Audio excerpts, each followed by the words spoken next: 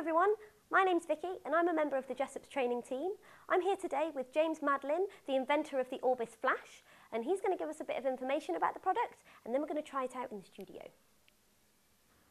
The Orbis transforms the light from your speedlight flash to give you beautiful shadowless light quickly and easily anywhere every time. It's incredibly easy to use. You can push your lens through the lens tunnel to get stunning studio quality ring flash light for a fraction of the price you'd normally pay for studio gear. You can take it off to one side of your subject and get beautiful softbox light, directional but without those hard edge shadows you normally get from your speedlight. And you can even hold it over the top of your camera to get an incredible beauty dish effect. Check it out. Using the Orbis was incredibly easy. I just set up TTL metering for my external flash and off I went.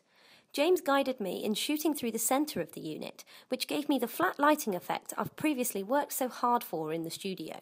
He also showed me how simple it is to get the interesting lighting effects you can achieve with a beauty dish.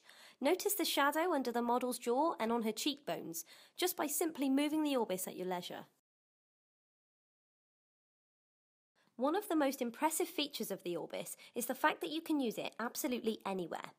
We took the model out into the street to practice this theory, and these are the results that we got. You wouldn't think they were taken anywhere other than a studio, especially given the impressive catchlight that you'll always achieve when using this product. I'd strongly recommend the Orbis to anyone keen on portrait or studio photography, as it can guarantee fantastic lighting on the go, without fuss, and for an extremely reasonable price.